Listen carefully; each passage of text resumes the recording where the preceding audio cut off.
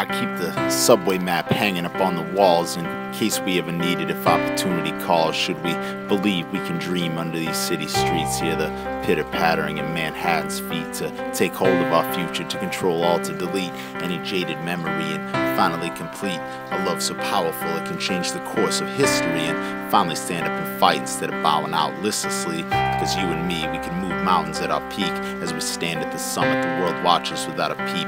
I wish you'd see that they christened me in the dewdrops that were glistening when the sun came up on a new day while the doves of peace are whistling. And I'll stand here alone like I'm the only one listening to the winds of change as they blow through as the skyscrapers speak and sidewalks start whispering. And telling me to be infinite and not let anything limit me. See, I don't want to be a militant when the end of life is imminent. It seems hours away, but it's gone in a New York minute. And so if you think that just for a second that this web that we've been spinning in will wrap me up, then take that notion and reconsider it. I want to be the exhibit of the antithesis of timid. In a world so by the book, I don't want to be inhibited. I want to take the story I'm living, pick a page and place you in it. Give me a chance to tell our tale before the chapter finishes. This ocean in between us is just water we can cleanse and the glass is a half full. Now we can see through different lenses. We can contend and trip up all the trends and just empty both our pens. Why camouflage our feelings if we aren't trying to blend in. I can't bother pretending i don't see you at the end in the widest dress oh my best friend in all the heavens. When judgment day is present when we have learned our lessons is there enough love in our hearts to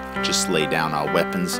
You see, you seem to have the remedies. I'm just one of your patients. I won't fill up on forbidden fruit and resist all the temptations. I'm not exactly virtuous, but I can say that I'm patient. So I'll sit here in the freezing cold on this bench outside Penn Station, hoping that your train will come back. I'll just keep on waiting. So let me finish by stating, you must figure that we're skating on the thinnest ice. Suffice to say, this is all weighing me down. But before we drown, I'll say that we're worth saving. Let us walk another mile on the road that we've been paving. Let us see our ships through the storm that we've been braving. So on the stones they've been engraving, they can keep both of our names. And back and forth I ride these trains, hoping things were in the same. I'll shoulder all the blame. It was me, I'll take the fall. Just let me mark the station you'll be coming home to on the map, up on the wall.